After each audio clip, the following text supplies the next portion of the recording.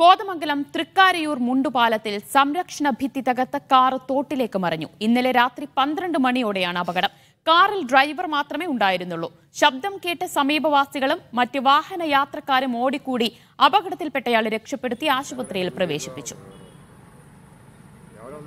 പതിനൊന്ന് മണിക്കും പന്ത്രണ്ട് മണിക്കും ഇടയ്ക്കായിട്ട് ഞാനിങ്ങ് വരുന്നത് അപ്പോൾ ഞങ്ങളുടെ തൊട്ട് ഫ്രണ്ടിലാണ് ആൾ പോകുന്നത്. ഞങ്ങളിങ്ങ് വന്നു കണ്ടിപ്പോൾ പിന്നെ വണ്ടി ഇവിടെ ഇങ്ങനെ കിടക്കുന്നതാകട്ടെ ആൾക്ക് വേറെ പ്രത്യേകിച്ചൊന്നും പറ്റിയിട്ടൊന്നുമില്ല.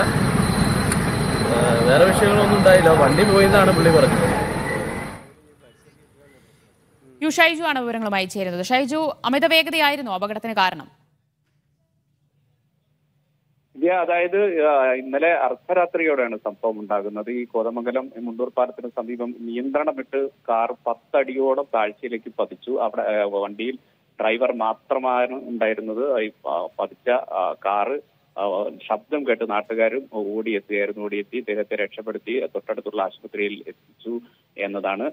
ഈ ശബ്ദം കേട്ടതുകൊണ്ട് മാത്രമാണ് അദ്ദേഹത്തെ രക്ഷിക്കാനായത്. അത് മാത്രമല്ല ഈ കാറിന്റെ എയർ ബാഗ് പൊട്ടി അദ്ദേഹത്തിന് പരിക്കുകളിൽ നിന്നും രക്ഷപ്പെടാൻ സാധിച്ചു എന്ന ഒരു നിഗമനവും ഇപ്പോഴുണ്ട്. ഏതായാലും എങ്ങനെയാണ് ഈ അപകടം സംഭവിച്ചത് എന്നത് സംബന്ധിച്ചൊരു വ്യക്തതയില്ല. പക്ഷെ അർദ്ധരാത്രിയോട് സംഭവിച്ച അപകടത്തിൽ നിന്ന് തലനാരിഴയ്ക്കാണ് ഈ ഡ്രൈവർ രക്ഷപ്പെട്ടത്.